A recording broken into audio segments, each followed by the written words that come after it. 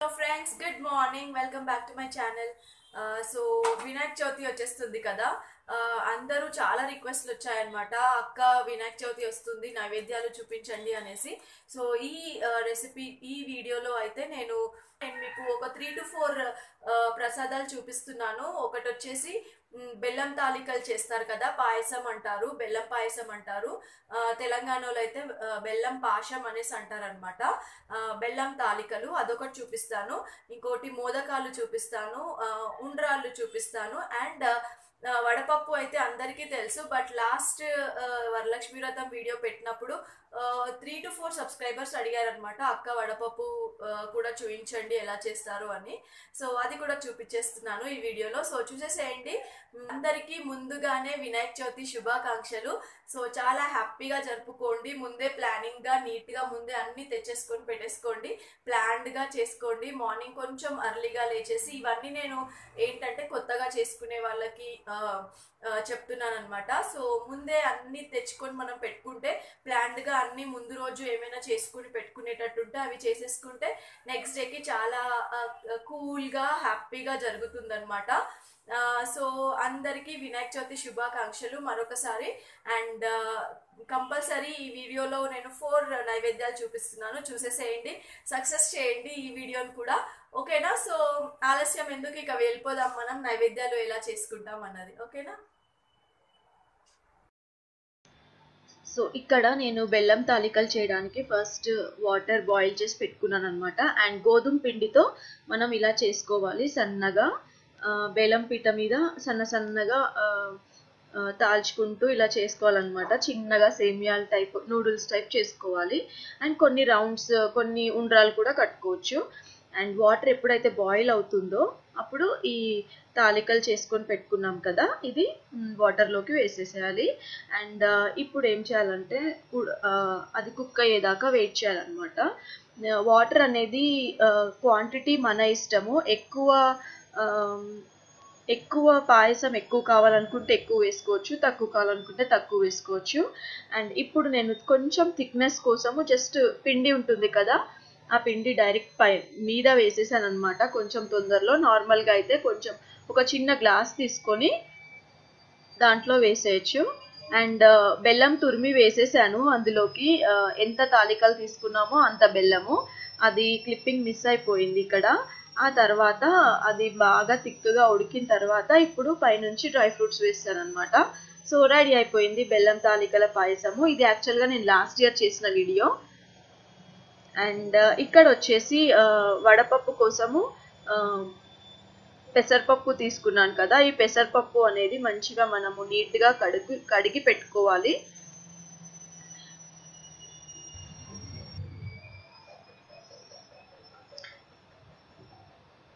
దీంట్లోకి వాటర్ పోసి నానబెట్టేసుకోవాలన్నమాట. ఒక ఫిఫ్టీన్ టు ట్వంటీ మినిట్స్ నానితే సరిపోతుంది. పెసరపప్పు చాలా తొందరగా నానిపోతుంది కదా. ఆ తర్వాత నానిన తర్వాత ఏం చేయాలంటే ఇలా ఏదైనా జాలి లాంటి దాంట్లోకి తీసేసుకొని వాటర్ అంతా ఉంపేసేయాలి దాన్ని.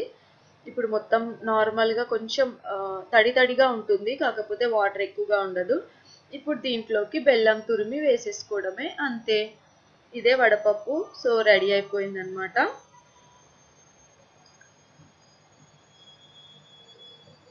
సో రెడీ అయిపోయింది వడపప్పు.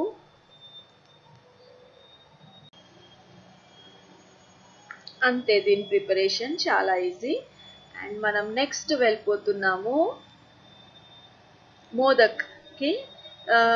ఇది కూడా చాలా ఈజీ ప్రిపరేషన్ అండ్ నేను ఇక్కడ మోదక్లు చేయడానికి ఎలాంటి ఎక్విప్మెంట్స్ వాడట్లేదు అనమాట నేను నా చేతులతోనే చేసి ఎప్పుడు ఎవ్రీ టైం నా చేతులతోనే చేసి దేవుడికి నైవేద్యం ఎక్కిస్తాను. సో ఎలాంటి ఎక్విప్మెంట్స్ అవన్నీ ఏమి వాడినమాట చేతులతో నార్మల్గా మనము మన హ్యాండ్స్తో చేసి దేవుడికి పెట్టింది. అదొక హ్యాపీనెస్ అదొక సాటిస్ఫాక్షన్ కదా. సో ఫస్ట్ ఏం చేయాలంటే కొబ్బరి ఉంటుంది కదా కొబ్బరిని ఇక్కడ డ్రై రోస్ట్ చేస్తున్నాను అనమాట కొబ్బరి పొడి కొబ్బరి మనం టెంకాయ కొడతాం కదా ఆ టెంకాయది మంచిగా తురుము తీసుకోవాలి గ్రేట్ చేసేసుకోవాలన్నమాట చక్కగా.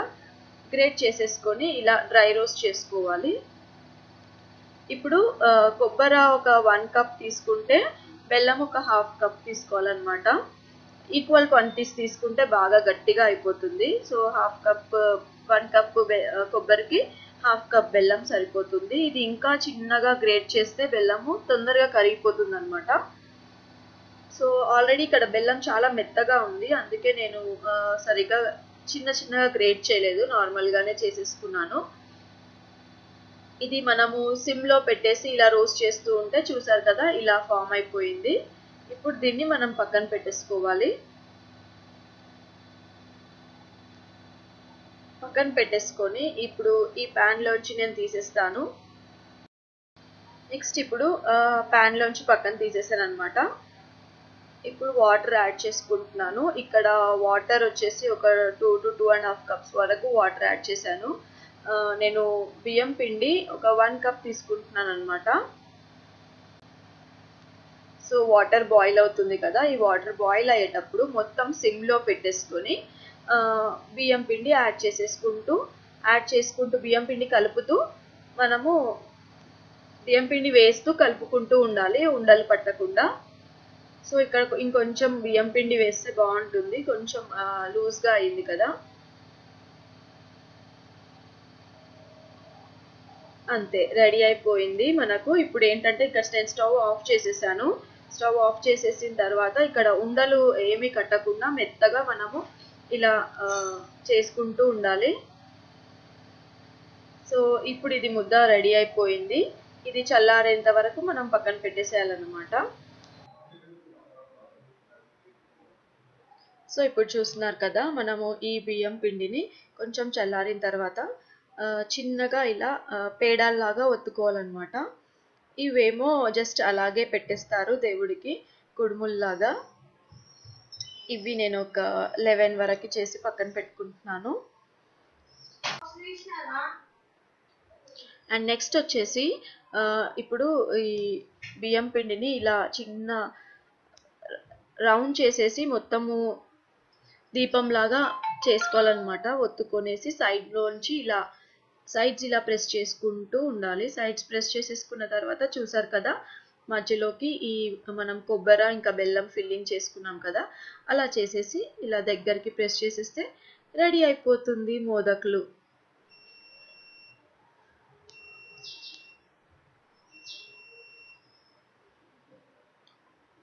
సో ఇక్కడ నేను మీకు క్లియర్గా చూపిస్తున్నాను. Uh, సో ఇలా మనము ఈ దీపంలాగా ఫస్ట్ ఇలా చేసుకోవాలన్నమాట. చేతికి కొంచెము బియ్యం పిండి అంటుకుంటూ అది విచ్చుకోకుండా ఫస్ట్ వైడ్గా ఇట్లా పెద్దగా చేసుకోవాలి. అది ఇది ఇప్పుడు చేసుకున్నాం కదా ఇది అనేది కొంచెం సన్నగా ఉండాలన్నమాట. ఇప్పుడు దీంట్లోకి స్టఫింగ్ పెట్టేసేయాలి. లేకపోతే ఫస్ట్ మనము కుడుము రెడీ చేసేసుకున్న తర్వాత కూడా స్టఫింగ్ పెట్టుకోవచ్చు. ఇప్పుడు ఇక్కడ ఏంటంటే నేను ఇంతకు ముందు చూపించిన ప్రాసెస్ కన్నా ఇది ఈజీ ప్రాసెస్ ఇది చూపిస్తున్నాను. ఇలా నార్మల్గా దగ్గరికి ప్రెస్ చేసేసి ఆ తర్వాత సైడ్స్ నుంచి జస్ట్ ఇలా షేప్ ఇవ్వడానికి సన్నగా ప్రెస్ చేస్తూ ఉంటే ఇంకా నీట్గా షేప్ వచ్చేస్తుంది అనమాట అంతే. సో ఇలా సో ఇంతకు ముందు చూపించిన ప్రాసెస్ అయినా చేయొచ్చు. ఇలా కూడా చేసుకోవచ్చు. చాలా బాగుంటుంది. అండ్ మనం చేతితో చేసాం కాబట్టి ఇంకా హ్యాపీగా అనిపిస్తుంది చేతిలో చేసిన మోదకాలు.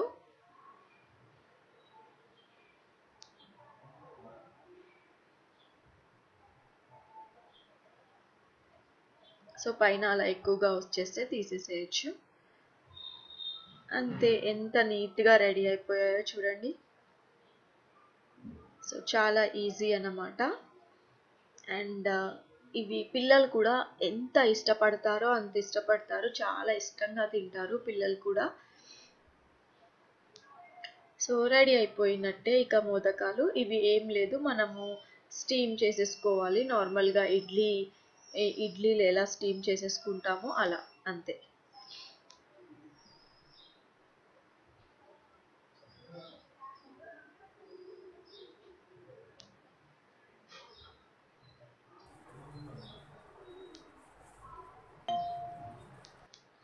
ఇప్పుడు ఇక ఏం లేదు. నార్మల్గా మనము ఇడ్లీకి వాటర్ ఎంత పోసుకుంటామో స్టీమింగ్కి అంత వాటర్ యాడ్ చేసేసుకొని ఈ ఇడ్లీ ప్లేట్స్కి కొంచెం నెయ్యి రాసేసుకొని ఇక ఈ మోదకాలు ఇంకా ఇవి చేసుకున్నాం కదా ఇంతకుముందు కుడుములు అవి పెట్టేసుకోవడమే.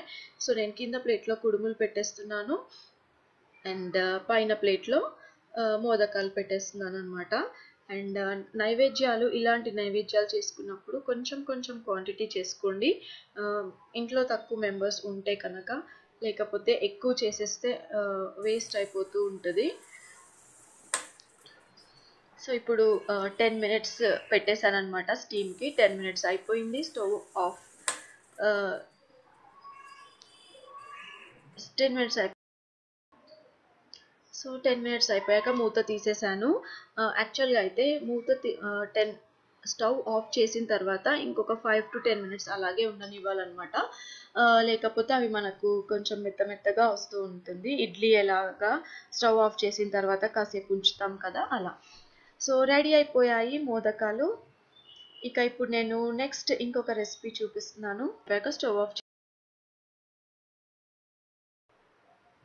సో ఇప్పుడు చూపించే రెసిపీ వచ్చేసి ఉండ్రాళ్ళు అన్నమాట. దీనికి మనకు రైస్ రవ్వ ఉంటుంది కదా ఆ రైస్ రవ్వ తీసుకోవచ్చు.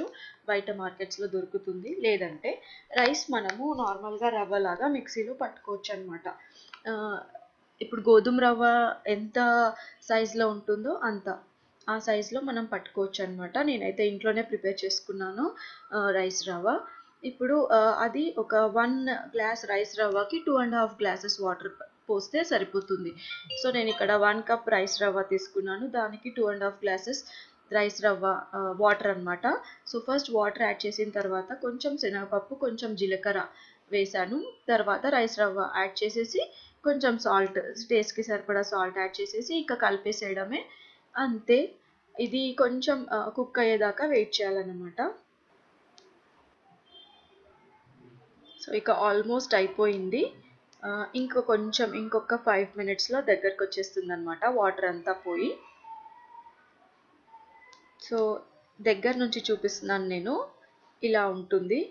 వాటర్ యాడ్ చేసిన తర్వాత జీలకర్ర శనగపప్పు వేసేసి తర్వాత రైస్ రవ్వ యాడ్ చేసేసి సాల్ట్ వేసేసి ఇక కుక్ అయ్యేదాకా ఉండడమే అన్నమాట. వెయిట్ చేయడమే.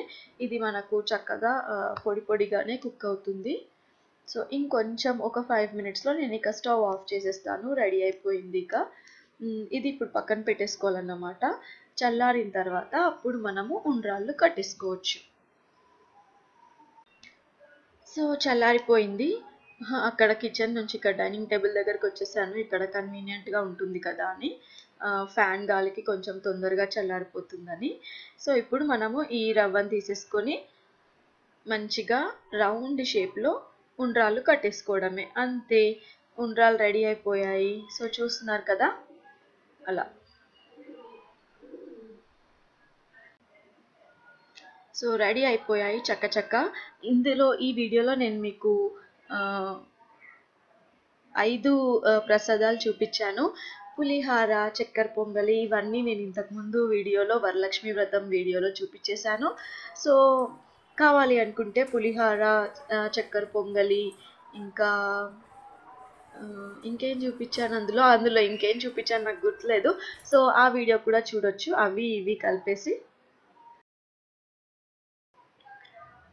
సో ప్రసాదాలు అన్నీ రెడీ అయిపోయాయి చెక్క చెక్క. అండ్ మోదకాలు చూస్తున్నారు కదా ఎంత బాగా వచ్చాయో. బెల్లం తాలికలు అయితే ఇంతకుముందు వీడియోది కదా సో అందుకే మీకు ఇక్కడ కనబడట్లేదు.